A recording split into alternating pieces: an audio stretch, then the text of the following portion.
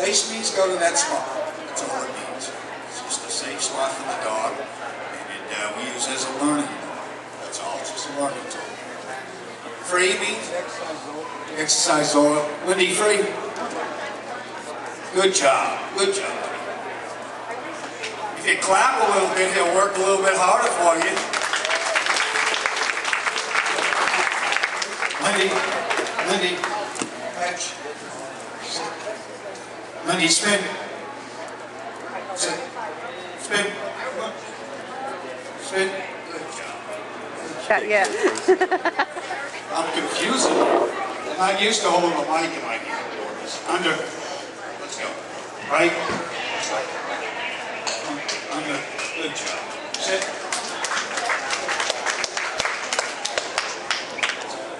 Back up.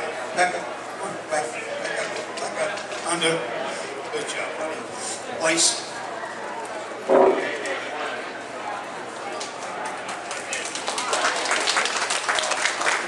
Wendy free. Under. Good job. Right. Left. Come on. Back up. Back up. Under. Sit. Back. Heel. Let's go. Jump. Heel. Sit. Come. Sit. Out. Out. Sit.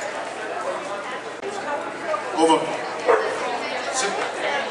There's a lot of directional work in search and rescue dogs. So this type of training allows the dog to have a better life, more freedom, get full off and on leash control. Professionals love to do this. Dog training's about challenges and having fun with your dog. We want sit, we want stay, we want to be able to take them, have places with dog meets, camping, events, free. Sit. Thank you very much, everybody, for the hospitality. Appreciate it.